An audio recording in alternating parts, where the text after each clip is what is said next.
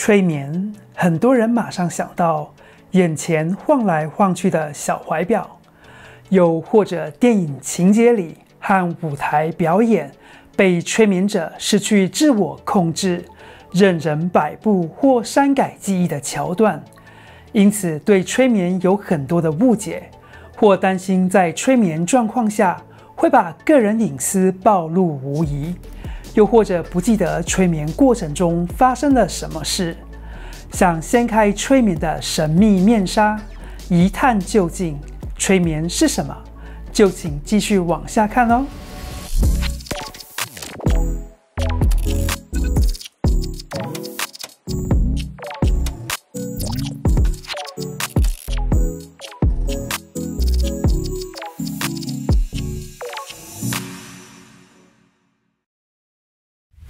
你好，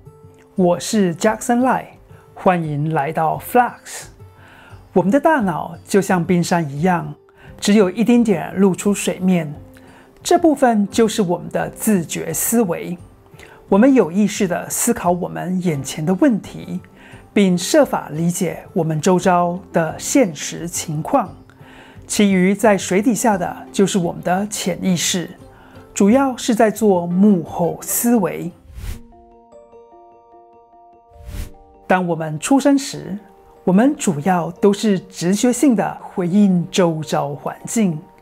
然后年轻的我们开始学习之旅，透过与人和事件的互动，未经推理和思考，直接吸收所有信息。大脑将这些信息有意识的和潜意识的排序和归纳，透过这样的编程。我们根据当时童年时期的判断和推理能力，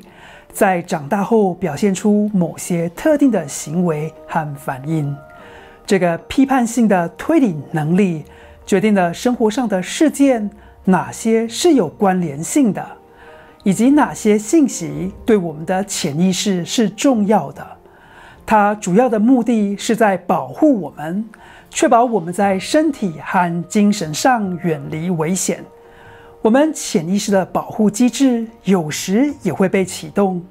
尽管当下的处境并没有和过去的危险或痛苦经验有明显关联。这就说明了为什么生活上遇到一些状况，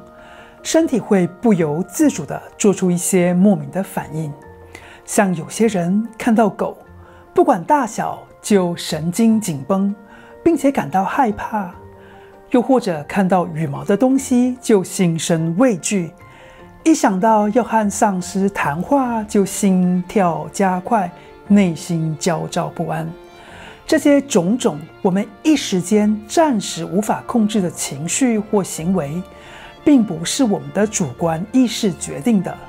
在这个情况下，不被察觉的潜意识启动运作。并且正强而有力地运行着，凌驾了我们的意识。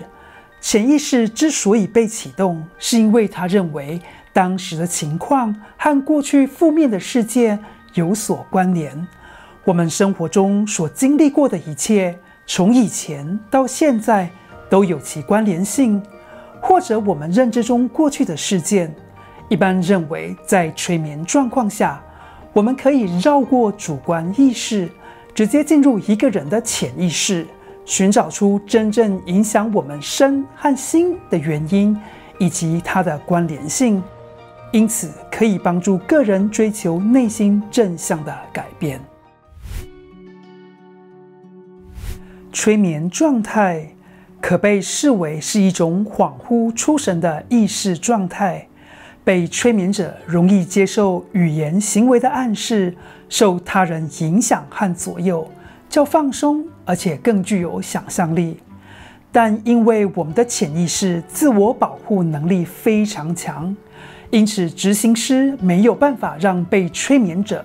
做出任何违背他道德良知和个人意愿的事情。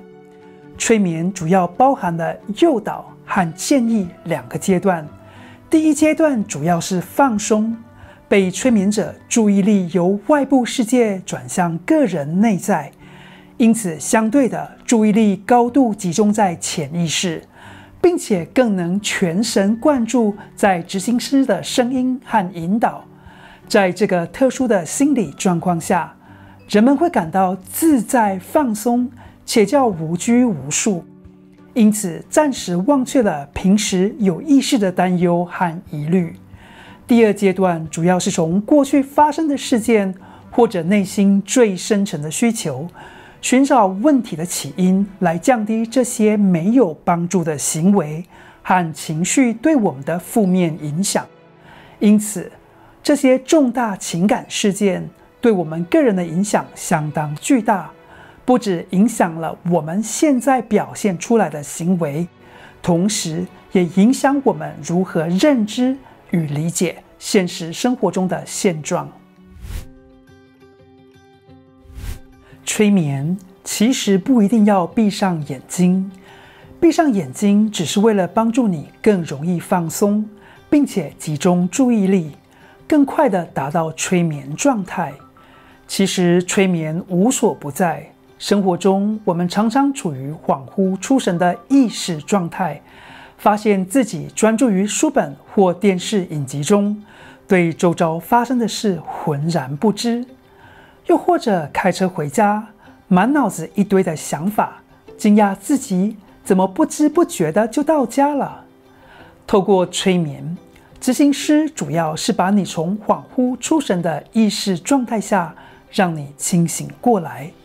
转而更集中注意在自己的潜意识，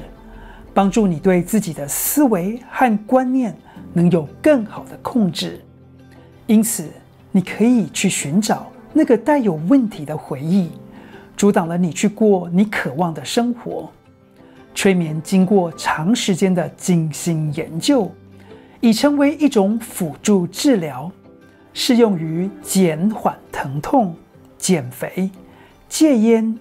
戒除强迫症行为，对于治疗创伤、克服恐惧、焦虑和压力等心理疾病，也是很有帮助的。研究发现，催眠甚至可以改变人们的免疫功能，